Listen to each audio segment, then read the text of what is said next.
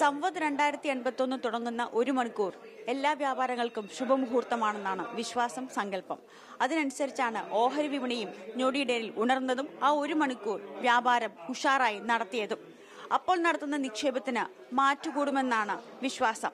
അതിന്റെ പുറത്താണ് മുഹൂർത്ത വ്യാപാരം എല്ലാ കൊല്ലവും ഉഷാറായി ഓഹരി വിപണി ആഘോഷിക്കാറുള്ളതും. മുഹൂർത്ത വ്യാപാരത്തിലേക്ക് കടന്നു വരുന്ന ആ ഒരു മണിക്കൂർ വളരെ നിർണായകമാണ് സന്തോഷകരമാണ് പ്രോത്സാഹജനകമാണെന്ന് ഓഹരി വിപണി രംഗത്തുള്ളവർ കരുതുന്നു വിശ്വസിക്കുന്നു. സമ്പദ് രണ്ടായിരത്തി എൺപത് അവസാനിച്ചത് നിക്ഷേപക സമ്പത്തിൽ ഏകദേശം ഒൻപത് ലക്ഷം കോടിയുടെ വർധനവ് രേഖപ്പെടുത്തിക്കൊണ്ടാണ്. ഇപ്പോൾ സമ്പദ് രണ്ടായിരത്തി എൺപത്തി ഒന്ന് തുടങ്ങിക്കഴിഞ്ഞു. നമ്മൾ ഇതിൽ ഏത് ഓഹരി വാങ്ങിക്കുന്നതിലാണ് ശ്രദ്ധിക്കേണ്ടത്? ഏതിനായിരിക്കും കൂടുതൽ വളർച്ച ഉണ്ടാവുക? നമ്മൾ ഈ ഒരു വർഷം നമ്മൾ കൂടുതലും പ്രതീക്ഷിക്കുന്ന ഐ ടി സി അതുപോലെ തന്നെ വബാഗ് വരുൺ ബിവറേജ് ടാറ്റ പവർ തുടങ്ങിയ ഓഹരികളാണ് ഞങ്ങൾ ഈ ഒരു വർഷം ദീപാവലി പിക്കായിട്ട് കൊടുക്കുന്നത്. തീർച്ചയായിട്ടും നമുക്കറിയാം കഴിഞ്ഞ വർഷം അതിന്റെ നിഫ്റ്റിയിൽ ഇരുപത്തിനാല് ശതമാനത്തിന്റെയും ബോംബെ ഓവർസീസിൽ ഇരുപത്തി രണ്ടര ശതമാനത്തിന്റെ വർധനമാണ് മറ്റ് പല രാജ്യങ്ങളിൽ അല്ലെ ആഗോള വിപണികളെ പൊതുവെ നോക്കുകയാണെങ്കിൽ ഇന്ത്യൻ വിപണി പോലുള്ള ഒന്നോ രണ്ടോ ചുരുക്കം വിപണികൾ മാത്രമേ ഇത്ര നേട്ടം കൈവരിക്കാൻ പറ്റിയിട്ടുള്ളൂ. ഇപ്പൊ മൂന്ന് മാസം കഴിഞ്ഞാൽ കേന്ദ്ര ബജറ്റ് വരെയാണ് അമേരിക്കൻ ഇലക്ഷൻ വരെയാണ്.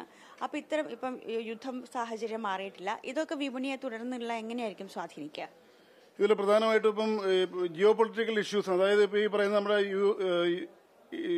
റഷ്യയും ഒരു യുക്രൈൻ തമ്മിലുള്ള യുദ്ധം അല്ലെങ്കിൽ ഇറാൻ ഇവരുമായിട്ട് ഇസ്രായേൽ അറ്റാക്ക് ചെയ്യാനുള്ള ഒരു രീതി നിൽക്കുന്നു ഇതെല്ലാം ഇങ്ങനെ നിൽപ്പുണ്ടെങ്കിൽ പോലും കൂടെ ഇപ്പം നമ്മൾ പ്രധാനമായിട്ട് ഉറ്റുനോക്കുന്ന അമേരിക്കൻ ഇലക്ഷനാണ് അമേരിക്കൻ ഇലക്ഷനിലെ വിജയങ്ങൾ എങ്ങനെയാണ് അല്ലെങ്കിൽ പരാജയം എന്താണെന്ന് നോക്കും. അത് ഒരു പരിധിവരെ നമ്മൾ ഏറ്റവും കൂടുതൽ പ്ര- പ്രതീക്ഷയോടെ ഉറ്റുനിൽക്കുന്നു ഒപ്പം തന്നെ അതിന്റെ അതൊരു ചെറിയ പ്രശ്നമുള്ള ആര് ജയിക്കും ആര് തോക്കും അതിലെ അവരുടെ നിലപാടെന്താണ്. എന്തായാലും അതൊരു ആഗോള പ്രശ്നമാണെങ്കിൽ പോലും നമ്മുടെ ഡൊമസ്റ്റിക് ആയിട്ടുള്ള കാര്യങ്ങളാണ് നമ്മുടെ വിപണിയെ നിയന്ത്രിക്കുന്നത്. പ്രത്യേകിച്ച് നമ്മൾ നോക്കുകയാണെങ്കിൽ ഇന്ത്യയിൽ കഴിഞ്ഞ ദിവസം തന്നെ പ്രധാനമന്ത്രി അനൗൺസ് ചെയ്തൊരു പ്രധാനപ്പെട്ട പോയിന്റ് ഇന്ത്യൻ വിപണി അല്ലെ ഇന്ത്യൻ എക്കോണമി ലോകത്തിലെ മൂന്നാമത്തെ ലോക സാമ്പത്തിക ശക്തിയായിട്ട് മാറാൻ പോവുകയാണ്. ജപ്പാനെ മറികടന്നുകൊണ്ട് ഇന്ത്യൻ എക്കോണമി മൂന്നാമത്തെ സാമ്പത്തിക ശക്തിയായിട്ട് മാറുമ്പോൾ ഓട്ടോമാറ്റിക്കലി നമ്മുടെ ഇവിടെയുള്ള പലിശ നിരക്കുകൾ കുറയും.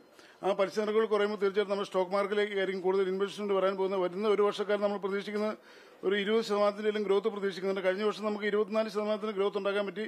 ഈ വർഷം അതുപോലെ തന്നെ ബി എസ് സി സൂചിക ഒരുപക്ഷെ പുതിയ മാജിക്കൽ ഫിഗർ ആയിട്ടുള്ള ഒരു ലക്ഷം എന്നുള്ള ഇൻഡെക്സ് ലെവൽ മറികടന്ന് പോകാനുള്ള സാധ്യതയും ഉണ്ട്. പ്രതീക്ഷയോടെയാണ് പുതിയ സാമ്പത്തിക വർഷത്തേക്ക് സംവദിനെ മുഹൂർത്ത വ്യാപാര സമയത്തെ എല്ലാം ഓഹരി വിപണി നോക്കിക്കാണുന്നത്. വർഷത്തിന്റെ അവസാന മാസമുണ്ടായ ചില നഷ്ടങ്ങൾ ഒഴിച്ചു നിർത്തിയാൽ നല്ല രീതിയിൽ തന്നെയാണ് വർഷം അവസാനിച്ചിട്ടുള്ളത്. അതിന്റെ തുടർച്ചയായി കൂടുതൽ വളർച്ച ഉണ്ടാകുമെന്ന പ്രതീക്ഷയിലാണ് വിപണി. Cameraman Narayanan നമ്പൂതിരിക്കൊപ്പം P R Vandana Asianet news Kochi.